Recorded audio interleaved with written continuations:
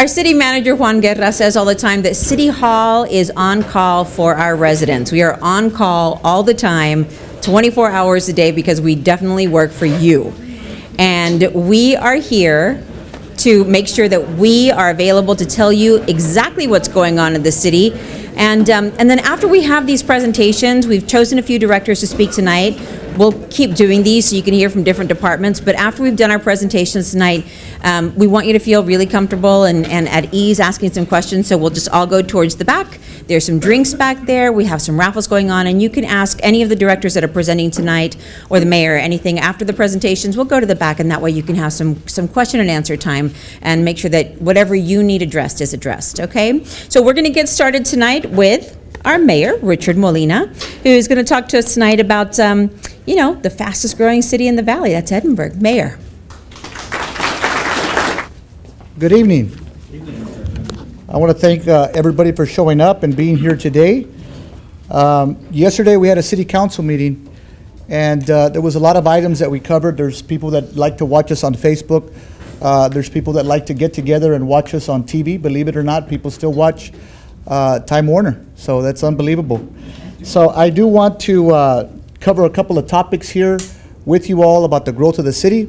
Now, understand that um, I'm gonna, sh- I'm gonna show you the number of people that really participate. It's hard to get people to volunteer time. The position of mayor and city council is a voluntary position. So a lot of people don't understand that. They think that we go out and that we make the big bucks, and they don't really, they, they, people tell me, I can't believe you take bullets for free. And that's exactly what we do. We take bullets for free. So uh, I, I put term limits. I don't think uh, the media did a good enough job covering the fact that we're the only city in the entire Rio Grande Valley that has term limits. No more career politicians. I ran on that, and that's something that we need to do some research on because the other cities haven't really done their research on doing that. So just like the president of the United States, the same thing applies for mayor and councilman. You can't run more than two four-year terms. So understand that that's very, very good. So those of you that want to get involved and you want to run for mayor or council in the future, I encourage you to get involved in that if you want to serve at the highest capacity. So I always tell people that want to run, go ahead and run. It's something that, that I believe if you have it in your veins and you believe that it's something that you had on your wish list or your bucket list like I did, then get involved in the city and find out what's going on. You know, I believe if we go out and we put our energy into this city, we're going to make it a better city. If we go out and complain about everything, well, that's, that's exactly what we're going to attract. It's called the laws of attraction. Whatever you think about, you get. And I honestly believe that what happens with the city, this is the fastest growing city, not because I'm the mayor, just because we have full momentum, where we stand geographically. I think the fact that we don't rely on the Mexican consumer as much as McAllen really elevates us to the next level. Well, what am I talking about? Go to La Plaza Mall. When all of these things are happening over at the bridge and, and there, you know, there's this fighting in Washington DC that goes on with border security, you can see the numbers start to drop in the sales tax in McAllen because they depend largely on the Mexican consumer. And you just look at the license plates, walk around the parking lot, you'll see a lot of people predominantly speak Spanish when you go into La Plaza Mall, when you go into the Best Buys over in the south, uh, the southern parts of McAllen. So when all these things happen at the border, it, it, it affects their sales tax. Here in Edinburg, it's a little bit different. The people that shop at our Burlington or J.C. Penney that go to our Texas Roadhouse, those are people that usually live around the city of Edinburg. So that's special because whatever happens on the border sometimes, we really don't feel uh, everything that happens. So I want to cover some, some statistics here. Uh, this is just something that we're doing for the public. Uh, a lot of people that are here, Juan gets the directors together, and they're salary employees. So, so people say, well, you know, you're paying overtime this. We're just trying to get the message across and try to be as transparent as possible. So we have different guest speakers. I do want to recognize one of our council members that's here, Mr. Gilbert Enriquez in the back. Thank you for being here. And like I said, we're on volunteer time, so we're here on our own free time to share what we can and just to make this a better city because that is our ultimate goal. And believe me, I hear it all. How sometimes McAllen has this and Pharr has that and, and Mission got this. We are trying to compete the best that we possibly can with other cities. Believe me, we do not lose for lack of effort. And I'll tell you this for those of you that participated in the All America City, we were out there. We practiced every single day for weeks and weeks and weeks. And it came down to the judges, and unfortunately, we were picked as a top 20 finalist, but we didn't get the actual prize. But for, I think that brought us closer together, more unified. We actually saw that it, everybody wanted it. It was passionate. It was like a football team going out in a pepper rally, but we were really proud of our city, and we were really proud to show them exactly what we were doing. Our newest census estimates show Edinburg's growth of 9.3%. So that shows you added 8,400 new residents. So that puts us, más o menos, right under the 100,000 mark. Now remember, that was over a year ago, so I honestly believe we're over the 100,000 benchmark. And that, I just want to share this with you because people, this is hard to fathom. But where we lead the way, we lead the way in construction permits having to do with residential. Now, we're hoping that we get that residential going, and with that, we get commercial, because the rooftops are supposed to push commercial. Believe me, we've been filing for the Olive Gardens. We've been fighting for the Longhorn Steakhouse, for the Red Lobsters. We talked to those people. They want to see more rooftops, and that's exactly what we're trying to get. We've been fighting for a bowling alley, some type of place like a Dave and Buster's. That one slipped through our fingers when I was a councilman. Uh, There's also main events. We're looking at getting these places, so I don't want people to think, as far as from a business aspect, if you go to the, I, I eat at the, um, it's unfortunate, but I eat sometimes at the uh, Olive Garden on North Tenth. And when you walk in there, it's fifty percent of the people in there are from Edinburg. It's crazy, but because of where they're located, they don't, they, they say, well, we're too close. We don't have to put another one up because we get all your business anyways. So we're probably gonna have to push more to the north or more to the east. So I want to talk about other cities and what they're doing, so you can see how blessed we are uh, to have the city that we're in today. McAllen, Big Bad McAllen, that's always been our big brother. I know when I worked for Edinburg PD for 11 years, guys would leave the police force to go work in McAllen. They were building up as a stepping stone, and then eventually they'd go get a federal job. Now you don't see that anymore, because our police department is one of the highest paid in the whole Rio Grande Valley. So it doesn't do them any good to get seniority and go work over there. And the same thing with most of our positions, is that we're doing well when it comes to competing in those markets with a salary now. Now, we're not number one, I'm not going there, but we're trying to compete the best that we can. So if you look at McAllen, 737 people added in the same time where we had 8,400. Brownsville, our largest city in the entire Rio Grande Valley, it's not McAllen, but it's in another county. They hit 100 people. Uh, 403 was Mission. Now, Mission is pretty competitive with us when it comes to population, and then Pharr was 50. So I think, Juan, you were one of those 50 when you lived there? So you also have Harlingen at 50. So you guys can kind of see the growth of what's happening here. Our sales tax disbursements. May of 2019, we had over 2.3 million in disbursements. That is a growth of 7% uh, versus the same period. So there's more sales tax coming. Now, believe it or not, there's two places where I do buy my suits. One of them is J.C. Penney, and the other one is Burlington Coat Factory. So those are side by side. When I go in there, I look at that. There's people spending money right here on Trenton. So there's something good is happening here, and I'm telling you that because I see it. I go in there, and, I, and I've actually gone door to door during the daytime, and I've met with everybody that lives, that actually rents from First Hartford, which is a property right on Trenton. And they put some of their, their uh, places right on the top. Let me give you an example. Pieology, right down the street, is number one in sales in all the Pieology network. So they have one in San Antonio. That one does more here on Trenton. It's hard to believe, but really their sales is up. Another one I want to talk about is Wingstop. I mean, there's a Wing Barn, I'm sorry, because I get them confused. Wing Barn is right off the expressway in Trenton. That one is number one in sales from all its stores. Uh, the Starbucks is number three in all of the Rio Grande Valley, so in sales. Of course, McAllen, the one on 10th, does number one, and then there's another one in McAllen that does number two, and then we're number three. Uh, another one I want to talk about that does pretty well is our academy. Our academy is number two in sales. There's another one, uh, the one in McAllen off of the expressway, the new one that they built is number one. We're number two.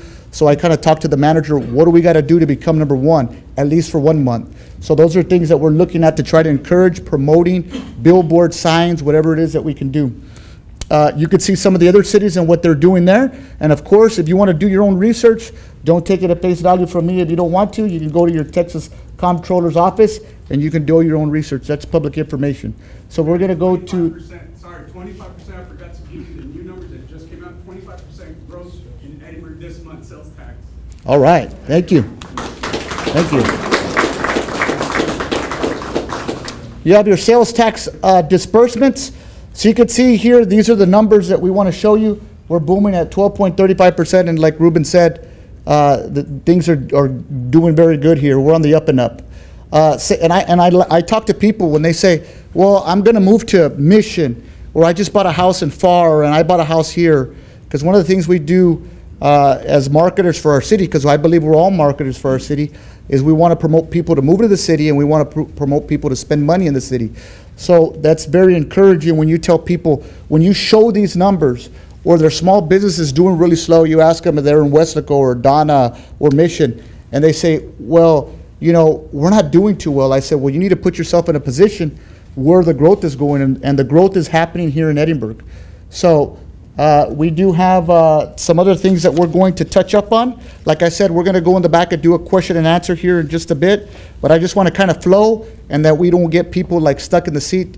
But without further ado, I'll bring up Ms. Zayas. Thank you. Okay, our city manager is up next, Mr. Juan Guerra. Um, Good evening, everyone. Uh, It's an honor and a privilege to be the city manager for the city of Edinburg. Uh, Edinburg is one of the shining stars of the Rio Grande Valley, and to be the city manager, it's, it's, it's an honor. It's, it's humbling, uh, to be honest with you. Um, It's humbling mainly because I understand my role.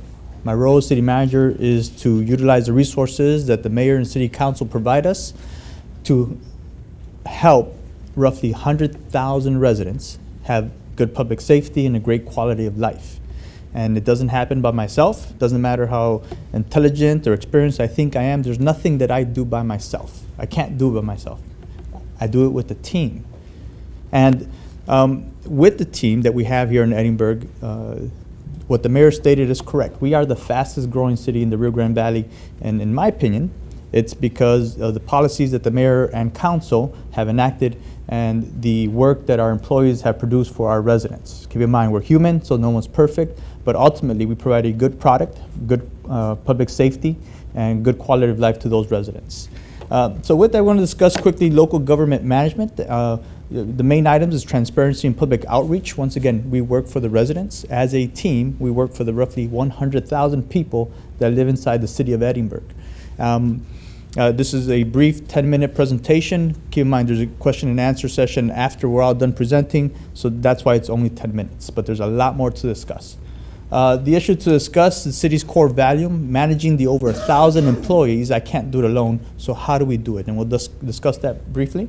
Uh, Strategic planning, uh, how do- how do we become even better today, uh, tomorrow than we are today? Uh, Budget and taxes is a new budget year coming up, and uh, tax rates and, and the budget needs to be quickly discussed. Transparency and public outreach efforts, we'll quickly discuss that. And then public engagement, which is important, because once again, we work for the public. As smart as I think my staff is and myself, ultimately, we need the public's input to make sure we give them good public safety and a good quality of life. City's core values is the uh, committed set of beliefs that guides uh, actions, uh, unites its employees, and defines its brand. And this is identified through the PRISM uh, leadership principles and traits. It's on the city's website. Uh, it's once again, we're human, so we're all going to make mistakes. But this is a guide, a guideline of how every employee is expected to uh, act uh, with the PRISM. It's the professionalism and transparency.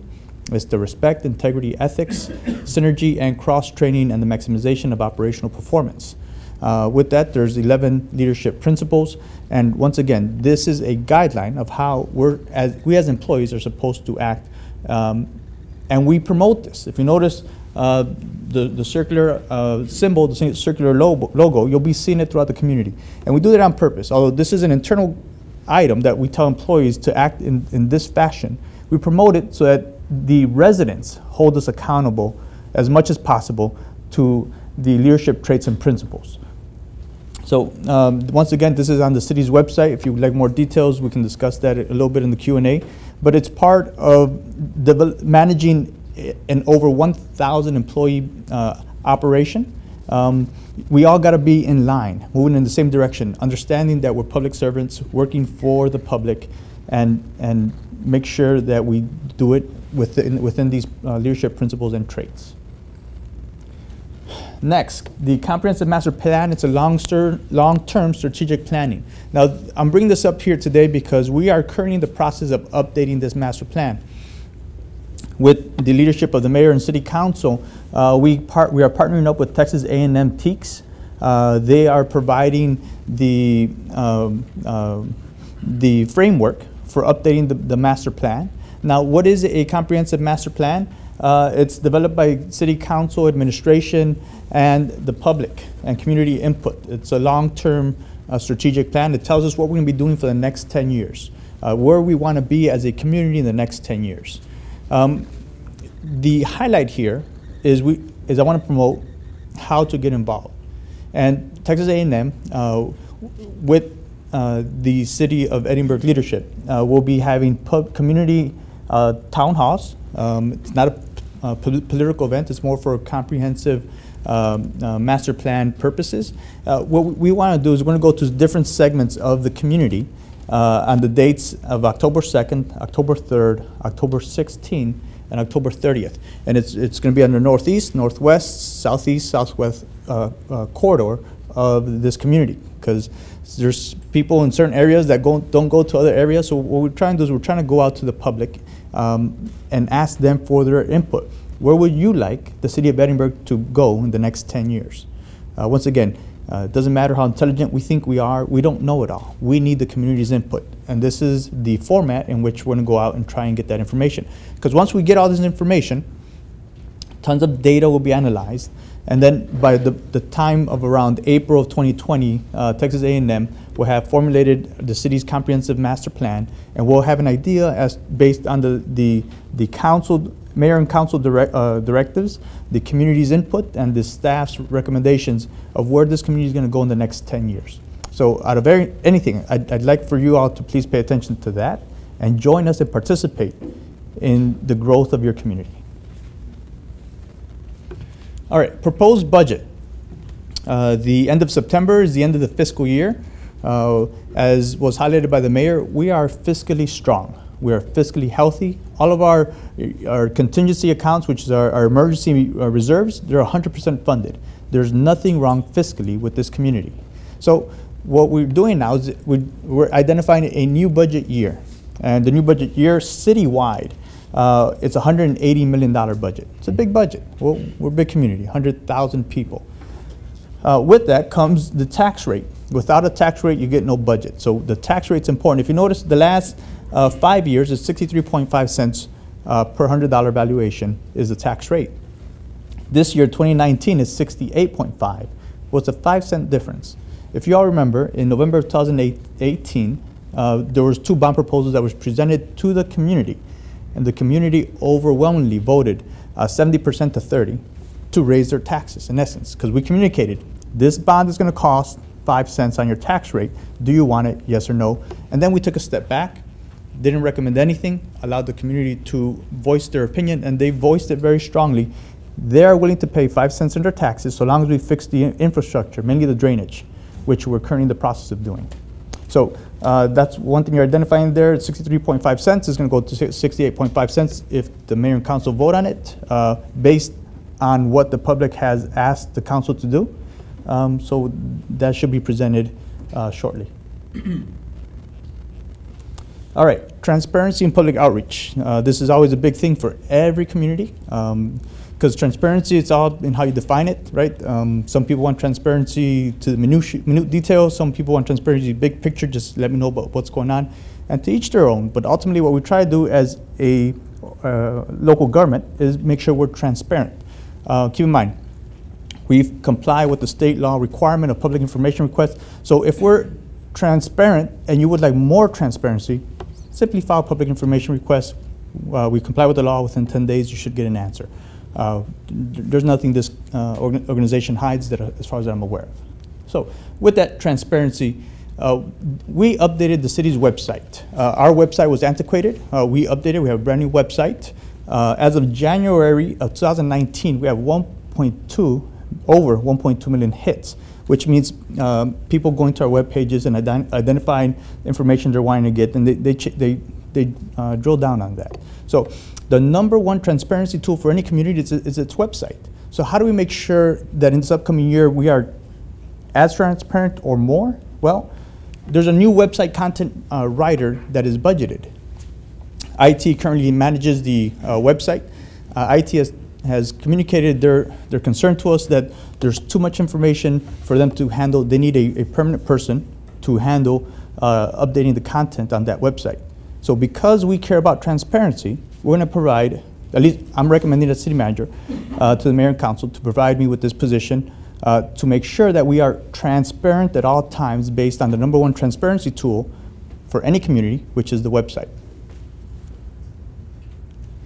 All right, social media, Facebook, uh, record number of users. Uh, that's where, if you want quick and up-to-date information about what's happening um, in the community, uh, the reality, and I'm not promoting Facebook, you know, but that's the main tool to get up-to-date information. If there's a hurricane, emergency management type thing, we post all the notices on Facebook right away. Now, want to uh, promote the fact that the Facebook likes in this community has really grown in the last year, year and a half. Uh, we're up to 24,000 likes, and out of the 24,000 people, 11,000 of those uh, people are from the city of Edinburg. So uh, we have record number of uh, people on the city's Facebook pages, and we would like more. So if anything, um, uh, please tell your friends and family to uh, like the Facebook page for the city of Edinburg, because if you want quick and, and, and up-to-date information, uh, that's the first venue we put it on. State comptroller requirements. The state comptroller has requirements for fiscal transparency. Uh, they've had it for, for, for, I don't know, I want to say maybe 10 years now. And for whatever reason, this city has not uh, participated in that transparency thing. Um, coming in, I identified uh, the issues at the finance department. I understand why we don't have fiscal transparency uh, in the city's history, but that's something that, uh, that the mayor and city council have directed me to, to try to look into and fix.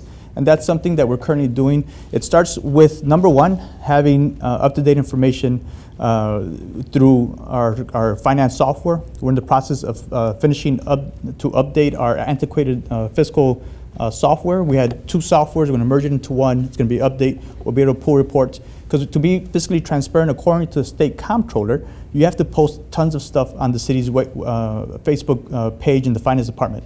Right now, we're probably 50% there. Uh, by 2020, uh, early 2020, we should be 100% there. We should be able to comply. So this is the first time in Edinburg's history that we're going to do something like this. And once again, the goal is to make sure that we're transparent. All right. Uh, public outreach. Once again, in order for us to continue doing what we think is right uh, when it comes to programs and services, we have to uh, get information from the public. Once again, we work for the public and we don't know it all. So these events are important. That's why you see it promoted in many venues. Uh, what we have is, is coffee with the mayor and city hall on call during city festivals as well as uh, town hall meetings. Uh, there are outreach efforts for residents to meet with the mayor, uh, city council, uh, city administration, identify issues, and provide recommendations.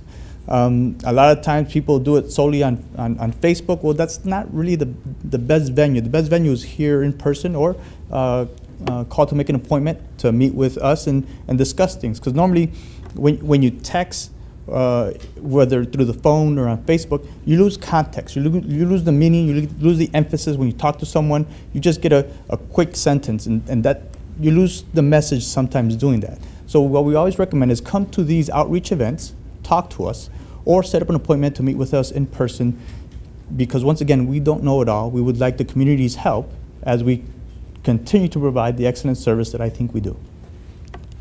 All right. And then city council and ad- advisory meetings. Um, we are complying with the state uh, law that requires public comments at every single uh, meeting. Uh, we are doing that uh, based on the recommendations or requirements given to us by the city attorney, and the mayor and council are on board with this. Uh, at every meeting that we have, which is public, uh, there's public comments before that. So if there's any time, whether good or bad, that, that we're doing, let us know. Uh, There's, there's venues for, for everything. All right, now, resident participation in solving problems. We currently have the SeeClickFix app. Well, we're rebranding it. We're trying to uh, uh, give it a fresh face. We're, we're going to try. We're going to start and promote it again. It's going to be called Engage Edinburg. This is a free app where uh, residents and visitors can can uh, get service calls uh, identified that need to be fixed. Uh, they, they do work. They can create work orders, and it's mainly identify the potholes, the weedy lots, uh, traffic signals that are out, lights that are out. Uh, things like that. Uh, this should be available October 1st. Uh, it, it all depends, of course, on how fast Apple and, and, and the Android platforms updates their service, but we are going to re, re, relaunch this app. Once again, this is for the resident participation in solving problems. Sometimes residents feel frustrated in, in trash in certain areas uh, or potholes in certain streets.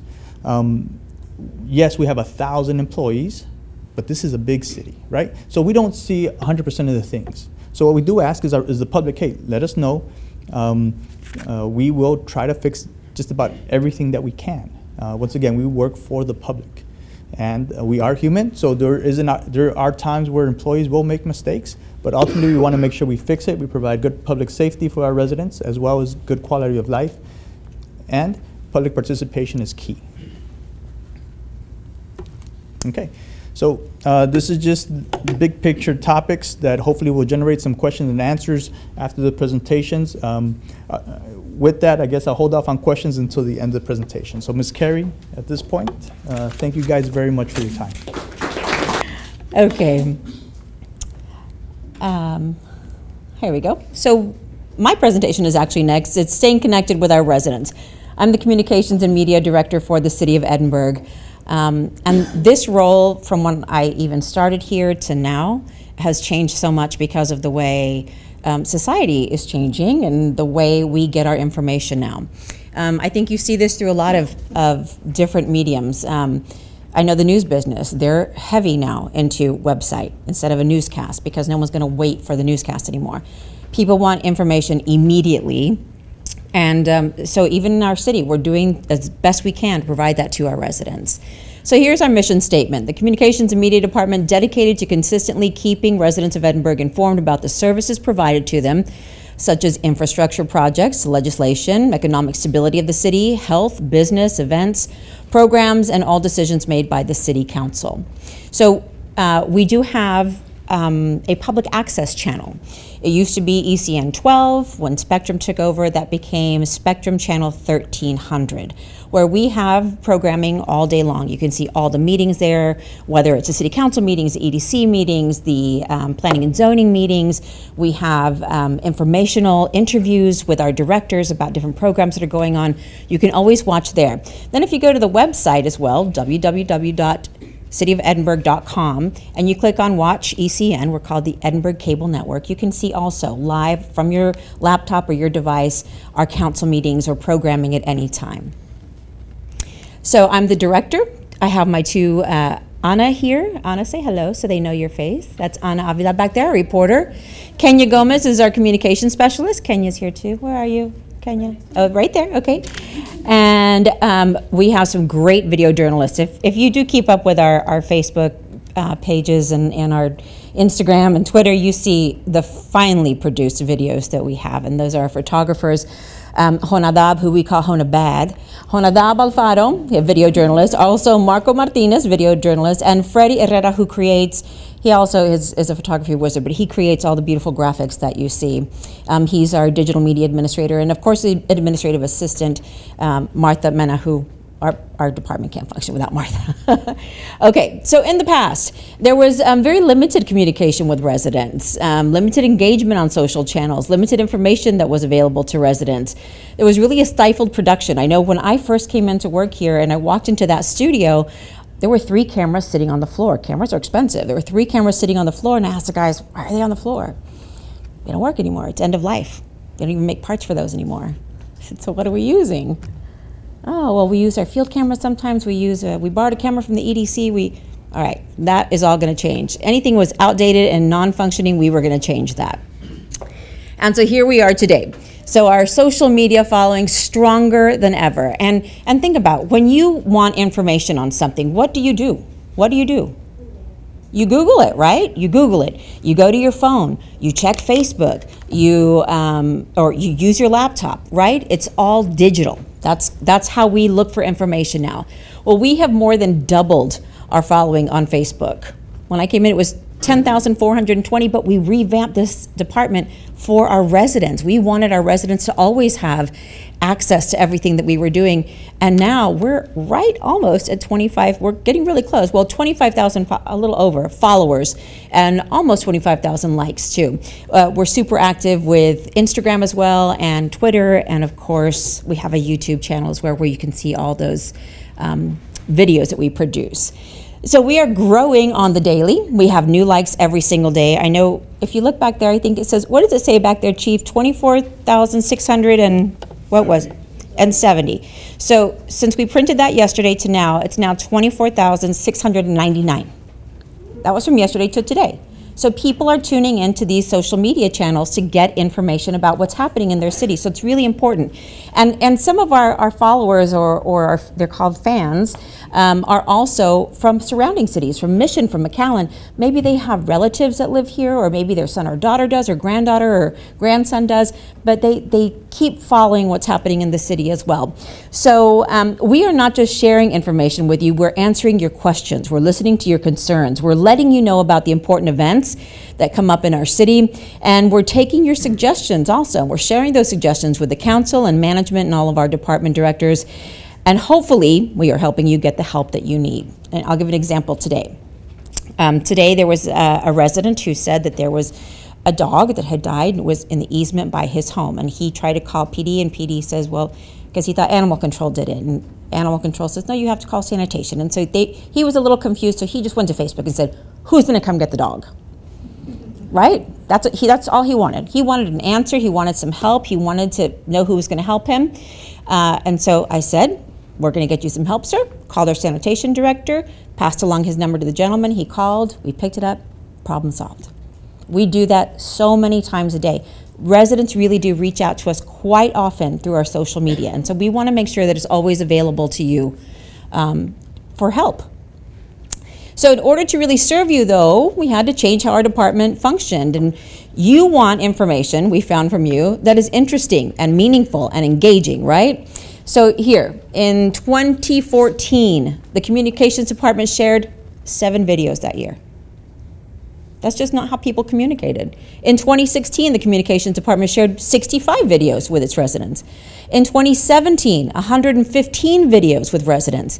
And in 2019, from August through today, through in September, we've already shared 72 videos this month. Do you see the difference? There's constant information, transparency in government, letting you know what's happening, letting you know what's happening in your city, answering the questions that you've been asking, and explaining how things work here. So, how can you stay connected with us? Well, we talked about our website, cityofedinburg.com. Of course, our Edinburg Cable Network, that's Spectrum, channel 1300, and all of our social media platforms. We are on Twitter, on Instagram, on Facebook, which is the biggest platform in the world, and on YouTube as well. There we are. We are active and we are engaged and we have engagement driven platforms. This is what keeps us busy uh, because we interact with you. We don't just want to put information out there. Every week we rotate who's assigned to answer your questions that come in through Facebook. We answer them. We look at them, we answer them, we try to get you the help we need. We have to be engaged with you or it doesn't matter, does it? If we're not answering your questions, what's the point?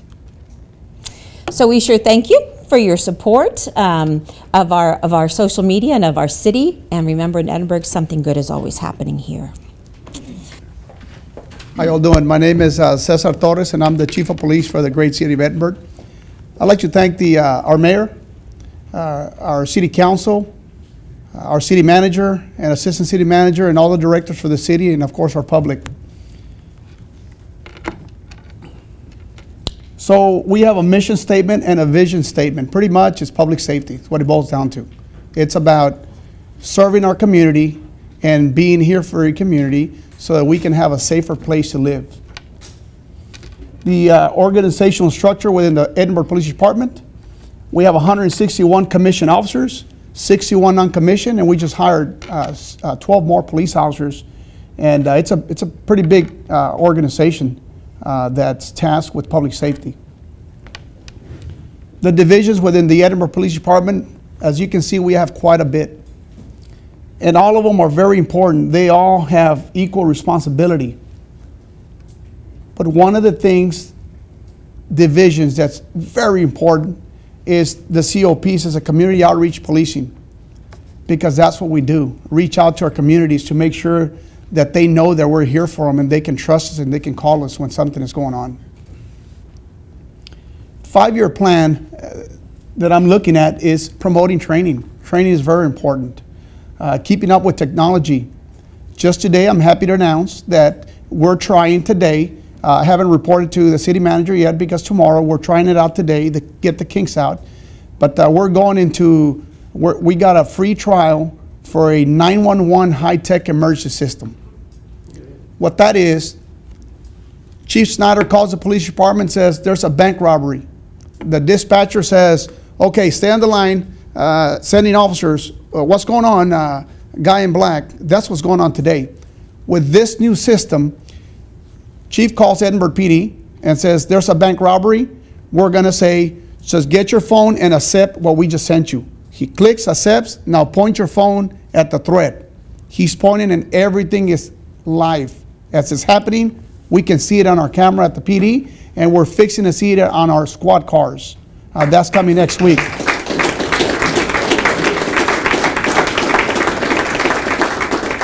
That's very important piece of equipment. Thank you, Mr. City Manager, for uh, bringing that. Uh, You're the one, that's your idea, so thank you. Uh, Keeping up with criminal trends, where are the burglaries, where are the robberies, where is our crime threat? What is our threat? Where are we getting hit with burglaries? Coming here, I understand that there's, uh, in the area of Sugar Road, South Sugar Road, we're getting hit with burglary after burglary after burglary. What do we need to do? Send undercover agents, send our Skywatch towers, send extra patrols, and guess what? The second day we made three arrests. We haven't had a burglary since. That is what keeping up with.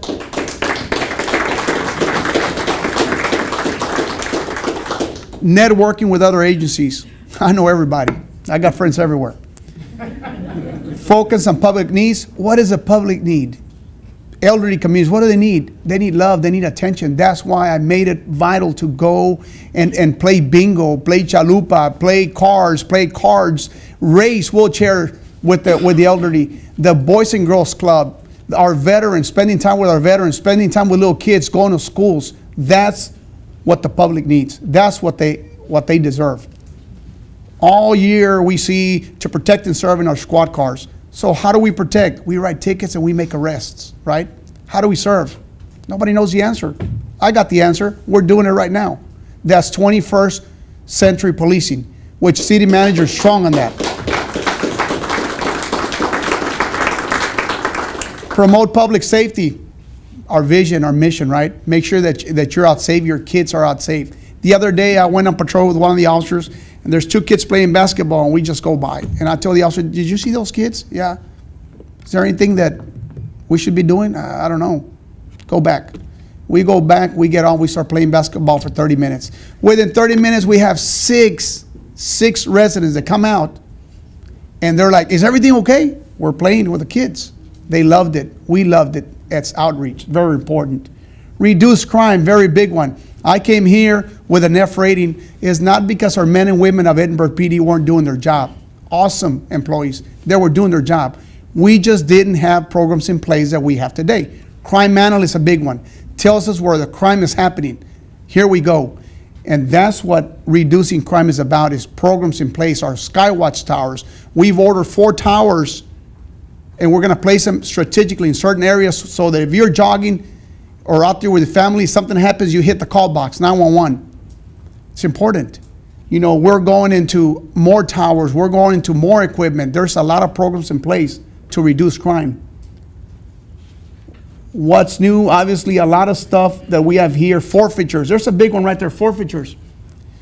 I work for the Mission Police Department, and one of the drug busts I was involved in, one of my very first ones, $2 million in cash. Second was 30000 in cash that led to $40 million in cash.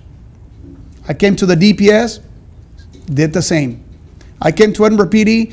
We are from January 7th that I've been here, we're at a little over $8.5 million. Yes, million dollars in cash. Why is that important? That's important because that money is used for training and equipment. The more equipment I can get from our cartels, the less our citizens pay. Also, in addition to that, the training, why is training important? Because the better trained we have our officers, the less injuries, the less workman comp claims, which are big. 780,000 we spent, almost a million dollars last year. It's crazy better educate our officers so that we go to a house and a guy is acting crazy, we know how to talk to him and de-escalate the situation before we end up getting shot or end up shooting somebody or hurting someone. That's why it's important. These are some of the equipment, about forty thousand dollars. Coming here, I, I found out, hey, we don't have workout equipment. Reached out to the LESO. It's a government military program for law enforcement that gives us free equipment. We went and got it. Thank you, Chief Snyder, for helping us go get it. We've created a bike patrol, very important. National Night Out, they were out there. Police cars, instead of, our, our retired cars, instead of dropping in the boneyard, why not park them at Walmart, at, at, at the schools to uh, give an illusion that there's officers there when there's not? But you know what? That's very important. It's working every day. Here they go at schools. Six schools not protected by the Edinburg School District uh, Police Department. They're protected by Edinburg PD. Here's our communication center, state of the art, state of the art, state of the art. Million dollar machine up there, MRAP, sustains explosions, explosives. Those of you that have been in the military, that's a very expensive piece of equipment. We use it for our raids because when we come down the highway with that, we're telling the people, you break the law in Edinburg, Texas, Edinburg PD is coming for you. Our citizens will be safe one way or another. Here are some of our events uh, that uh, we've been involved in. Boys and Girls Club, Mujeres Unidas, elderly, uh, kids that have cancer down here, our elderly down here, everywhere. We are everywhere. We're all over the map. I love it. Edinburg Community Programs, there they are. We have a lot of them. A lot of them, and we're out there. We're out there day in and day out. Because when I go out there and I play wheelchairs with our elderly and they start crying, it, it, it's just very touching. It's, it's great PR. We want them to know we care for you, we're here for you. Crime stats, there they are, 18.1 down, and they're going to continue to come down because people, we're engaging people, we're engaging the community, and our programs that we have in place, there it is 2018 versus 2019 in blue versus red. There, uh, there it is, 18.1%. And of course, we have a lot of grants, grants, grants. $8.5 million. Wow. So we want the community to know that we are here to fight crime, to make sure that our citizens, our mothers, our grandmothers, our kids are safe in this community. Thank you.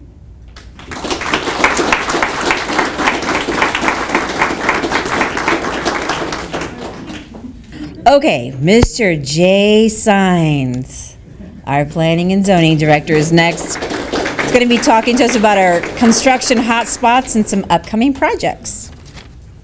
Whose idea was to put me after the police chief, Carrie? My God. Okay, so we'll try her. Um, ladies and gentlemen, uh, my name is Jesus Sines. I'm your planning and zoning director with the city of Edinburg. Uh, I want to thank the mayor, uh, city council, uh, and all of you for being here so we can talk about uh, some of these numbers. Hopefully, I didn't bore you, put you to sleep. Uh, uh, at a glance, I want to just talk to you about our infrastructure project update, some of the drainage projects you've been seeing around town, some of the street projects you will be seeing, uh, and some of our building safety division statistics, uh, permit valuations, new single-family residential, kind of giving and expounding a little bit on what the mayor was talking about earlier, new family residential projects, new commercial projects, and development hotspots within the city. So again, you've seen some of these around town. Uh, A northeast Doolittle, a mile 17 and a half project, that's completed. Uh, Northeast side of town, uh, on Coon, that project is completed. The east portion of Sprague, Edinburg Old Town Site, that project's completed. And the uh, South Central project, Edinburg Old Town Site, 19 to 18, that project will be completed in December 2019. One of the things that the mayor and council stressed um, was infrastructure. Uh, We had infrastructure that had been neglected for many years. And anybody will tell you that aside from the citizens, the lifeblood of the city is infrastructure. You know, you've all heard it, right? If you build it, they will come.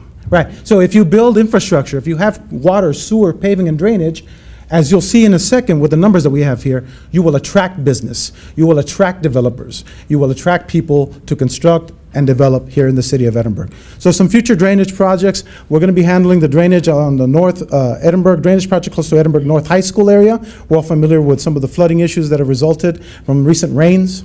Uh, Stadium Drive in Dawson near Cat Stadium, that's another area that desperately needs assistance, and we're working on that project as well, along with some street reconstruction projects, uh, full reconstruction for Schunior and for Alberta street projects. Those are going to be ongoing, uh, and we should kick off before the new year and just some images of, of some of the, the locations that we've had. Again, this is, as you pass through the city, you've seen some of these projects going, and they'll be completed this year, ladies and gentlemen, so that's fantastic.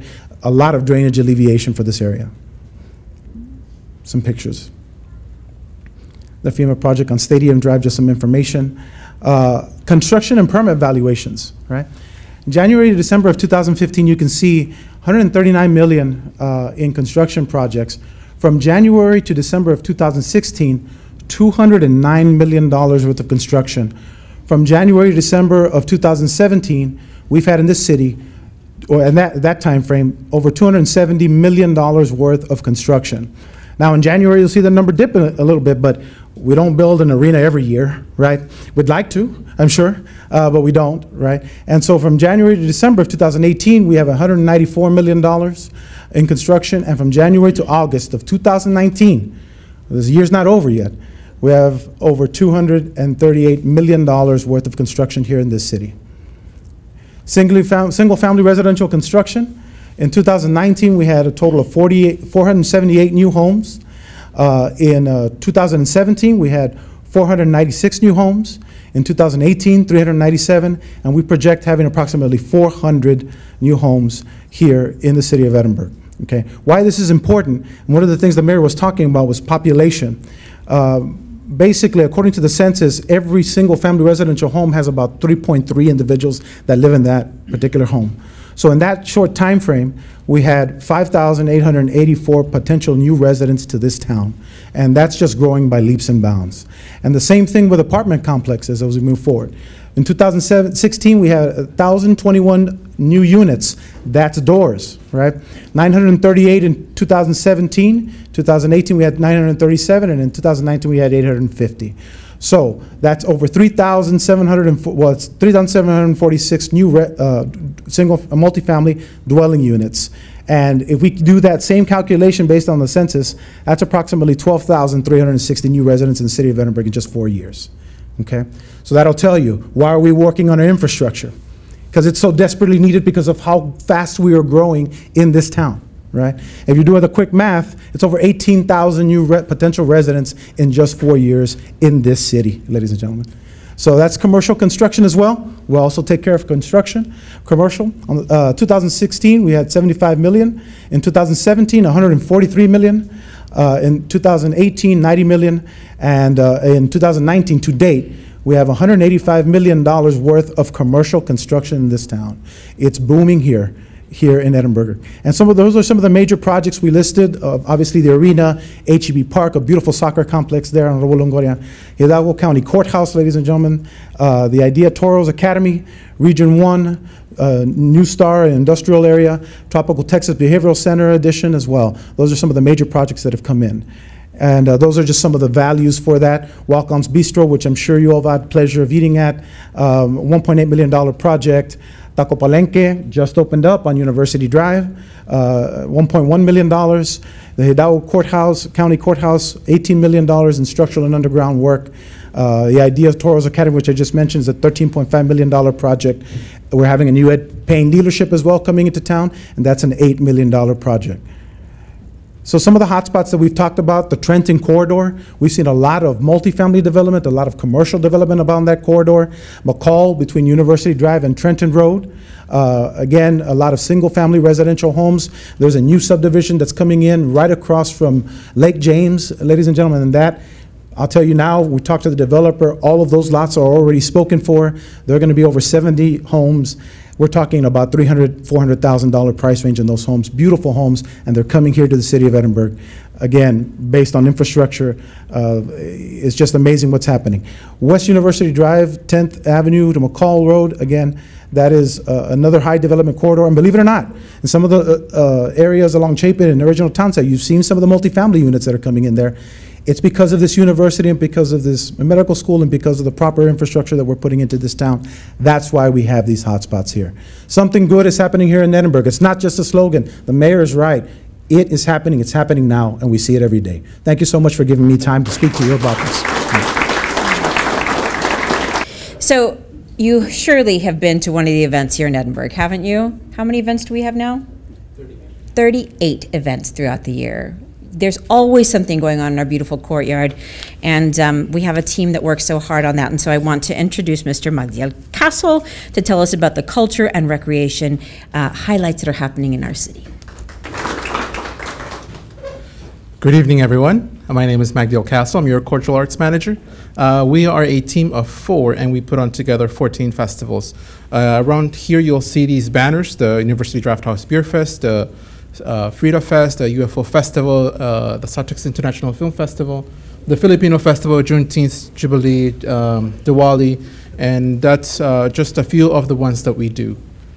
Um, what do we offer? Uh, we offer some art classes on top of festivals, um, dance instructions, live theater, fine arts exhibits. We have a community theater that we just started back in March. Here we have one of our members, Mr. Juan Guerra, not our city manager, somebody else. I think he stepped out. Um, and uh, actually, next week we have a, a, an acting workshop. Uh, this is just something that we offer to you so you can relax, because you live and work here, but what do you do to relax? This is what you do to relax uh, film, uh, dance, music, cultural presentations, and, uh, and we also rent the auditorium. So if you have questions on the auditorium, um, you, you come to the library. Uh, we have our Festival of International Books and Arts. That's uh, in conjunction with the university. We have authentic Korean and Chinese dragon dances. Uh, our UFO Festival, which is a fan favorite, attracting people from all over the US. Uh, we bring top notch speakers from Ancient Aliens, Discovery Channel, the History Channel. Um, they're a little bit different than your normal celebrity, but they are celebrities in their own right. Our Filipino festival, like I mentioned before, we work together with a community that lives here and works here and uh, plays here. Our Filipino community is growing with about 24,000 Filipinos calling the Rio Grande Valley their home. Um, we also embrace our uh, Juneteenth celebration. Uh, we have a historic uh, black cemetery, and every year this is the 26th or 26th annual uh, year that we do the celebration. Uh, this coming year, it's going to be moving to the City Hall courtyard, and it's going to join the ranks of uh, city's uh, large festivals. Our Frida Fest is a fan favorite. This started in 2014 when we noticed that our uh, monthly art walk uh, needed a little bit more of a hump to it. So we added a, a Frida Fest, and it quickly morphed into a women's empowerment festival. Uh, we attract, uh, next year, we have uh, Cristina Kahlo, uh, Frida Kahlo's grandniece, and um, Santa Barraza, a famous artist who's going to be coming down and give a workshop and lead our women's empowerment panel. Our South Texas International Film Festival, we just had our fifth annual. We went from an emerging festival to an established film festival. We are a film-friendly city, uh, thanks to our council as well and uh, trainings that we've been uh, given. Uh, we attract celebrities. It's a four-day festival, and it's free movies for everyone. So if you're a movie lover, this is the perfect uh, festival for you, and it's not outdoors. All the other ones are outdoors, and it's hot here.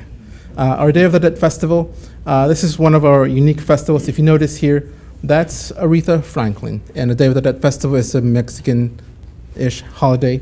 Uh, but because we celebrate and embrace our community um, with our Juneteenth uh, committee, we dedicated the altar uh, to Aretha Franklin and cross promoted our cultural integrations. Diwali is our festival of lights. Uh, this year's taking place November 2nd um, for, uh, with the Indian community. Uh, there's going to be food, uh, food and entertainment uh, directly from India. So if it's a culture that you're looking for, you're going to find it in Edinburg. Other cities like McAllen, they may have the money, but they don't have the culture and attraction that we have. And that's something that we can provide to you.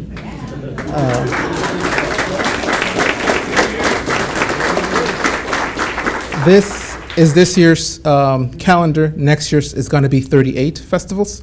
Um, if you need direct information, you can just call City Hall, they'll transfer to us, and we'll be able to give you all the information that you need. Uh, thanks to our city manager for streamlining all the uh, festivals. We will now be uh, overseeing and giving out information in one location so that you do not get transferred from one department to the other. Uh, we also handle several other projects. So aside from um, exhibits, the theater, the dance, uh, the festivals, we are doing also the parade, the Veterans Parade. But this year, we are going to um, unveil our Boulevard of Heroes um, Boulevard, which is on Closner, um, and each um, light uh, control box is going to have a mural uh, painted on there to honor our veterans. I'm sorry, our fallen heroes, and um, there are they're going to be on every intersection between the courthouse and here, starting on our road with um, Dusty and finishing in, at the courtyard with uh, Pedro Cano on Cano Street. So I hope you can join us, rain or shine. We did it last year, and uh, cold and, and rain, and we're going to do it this year, no matter what the weather is. Uh, thank you.